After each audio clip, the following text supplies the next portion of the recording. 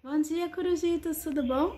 Evolução da era já tá bem tranquila, tá? Já deixa fazer carinho no meio do olhinho, né?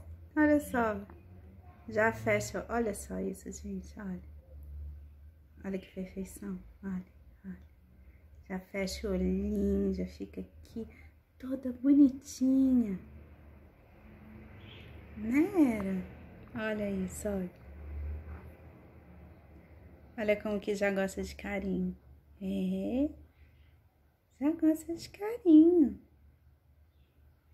Tito adora carinho aqui no meio do disquinho facial. É o lugar que elas mais gostam de ganhar carinho. Né?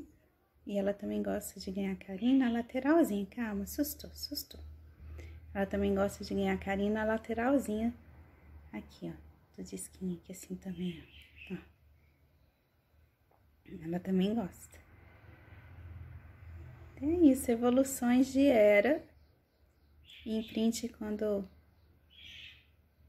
é realizado com sucesso, a corujinha gosta de toque e aceita carinho. Né, Era? Olha. Deixa eu passar a mãozinha. Consigo tocar nas costas, ó. Isso também é importante, ó. Tocar nas costinhas. Dos lugares últimos, assim, que eles vão permitindo é no peito e na pata. É mais fácil vocês começarem sempre a fazer carinho nas costas, sempre de cima para baixo, né, gente? Que é pra não arrebentar a pena. Isso não é cachorro, não pode fazer assim não, hein? Pelo amor de Deus. Devagarzinho, de cima para baixo, vê que eu mal toco, ó. É bem pouquinho.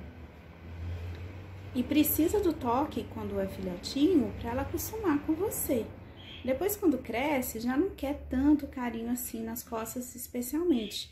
Mas é parte do processo de imprint, tá? Se for. Vai só sair glagrope, olha, ao vivo. Ao vivo. Vai soltar? Vai? Olha o tamanho dessa glagrópia! Agora ela vai querer comer. Eu tentei dar comida, ela não quis. Por isso, deixa eu mostrar pra vocês. Quando a eglagrópia sai, olha como que ela tá úmida, olha.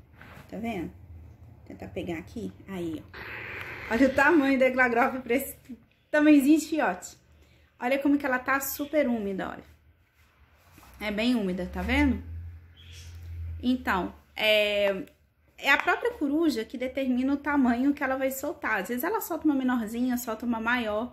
E quando ela sente que tá muito grande, ela só vai querer comer depois que ela soltar. Então, agora que ela soltou, ela vai querer comer, né? Aí eu gravo um outro vídeo pra mostrar pra vocês.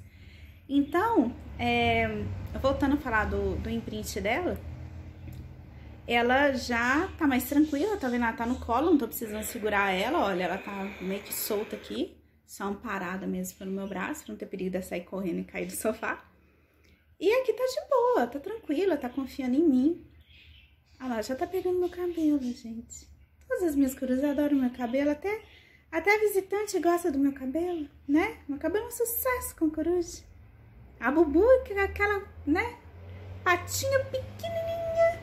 Então, quase me mato quando resolve pegar meu cabelo. Mas enfim, voltando ao que nos interessa aqui hoje. Ela já está mais calma, já está mais tranquila, já aceita ficar no colo, vai comer aqui agora no colo. Então, por isso que é importante ter paciência e, acima de tudo, tá procurando comida. E, acima de tudo, estudar e aprender o que é o imprint antes da coruja chegar. Porque o prazo para fazer o imprint é muito pequeno. Não dá pra... A coruja chega, aí eu aprendo e faço. Porque aí passou o tempo e não amansa mais.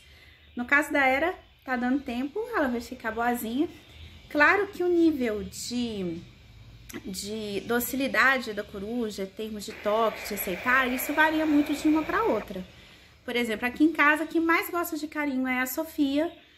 O Totti gosta, mas é pouquinho, tipo assim, dose homeopática. Um pouquinho hoje, um pouquinho amanhã. Não gosta de ficar muito tempo recebendo carinho. E a Laxmi tá entre os dois. Então, isso é normal também, tá? É difícil a gente ficar comparando uma coruja com a outra por isso. Não, é, não pode andar mais pra lá. Ué, é, já tá independente, tá achando que é gente, né? Quer fazer o que quer. é, é, tá, ela tá procurando comida, tá? Dá umas bicadas fortes na mão é porque ela associa a minha mão com o alimento. Como ela está com fome, o que, que ela faz? Ela bica meu dedo. Então é isso, gente. Vou dar comida pra ela, gravo um outro vídeo pra vocês verem. Muitas bicadinhas pra vocês e continue acompanhando a evolução da Era. beijo pra todo mundo. Focalização de filhotes.